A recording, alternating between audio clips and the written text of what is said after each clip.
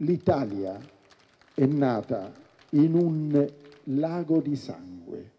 Al sud sono stati uccisi, secondo i vari calcoli, da 100-140 mila persone a alcune centinaia di migliaia, civiltà cattolica, badate io non ci credo, riferisco un dato, civiltà cattolica, la rivista dei gesuiti che faceva il conto con i libri dei morti delle parrocchie, dice che fra fucilati, morti per epidemie scatenate anche apposta, cioè chiudevano gli acquedotti, isolavano il paese, li lasciavano morire, un milione di persone.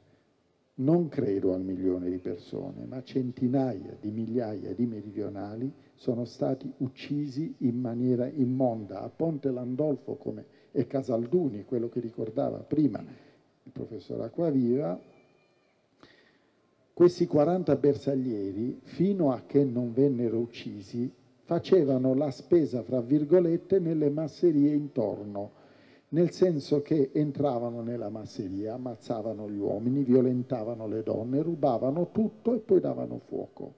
Per cui quando se li videro in paese non gli parve vero e a forconate li fecero fuori. Arrivarono mille bersaglieri, guidati da Pier Eleonoro Negri, colonnello di Vicenza. 500 si dedicarono a Ponte Landolfo, 500 a Casalduni. Da Casalduni riuscirono a fuggire molti in tempo, da Ponte Landolfo no. Entravano nelle case di notte, la gente dormiva, nuda, seminuda, li tiravano fuori alla baionetta, li mandriavano per le strade, li menavano in piazza dove c'erano quelli schierati prima fila in ginocchio, secondo in piedi, a sparare nel mucchio. I sopravvissuti vennero chiusi nelle case ammassarono legna, fascine alle, davanti alle porte e alle finestre e dettero fuoco, li bruciarono vivi. Maria Izzo forse era la più bella del paese perché non si spiega come mai le abbiano dedicato un'attenzione speciale. La legarono nuda a un albero in piazza a gambe aperte e la violentarono finché non svenne e il bersagliere che si vide privato del suo turno la squartò con la baionetta. Concetta Biondi aveva 16 anni, si avventarono in dieci su di lei e quando morì di stupri finalmente uccisero suo padre che avevano legato a un palo perché assistesse.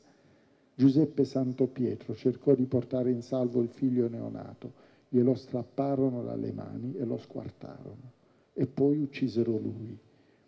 Si parla di 400 morti solo a Ponte Landolfo, altri conteggi arrivano a più di mille. L'unica certezza è che Giuseppe Ferrari, deputato e filosofo milanese, sceso a vedere cosa fosse successo, ne fu sconvolto a vita. Ponte Landolfo aveva 5.000 abitanti, Casalduni 3.000. Lui vide una colonna di 3.500 profughi.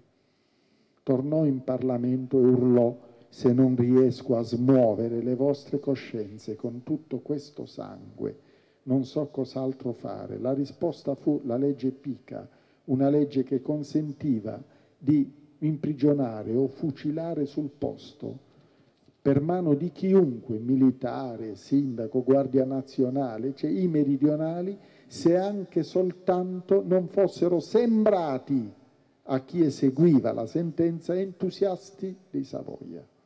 Bastava questo per essere uccisi.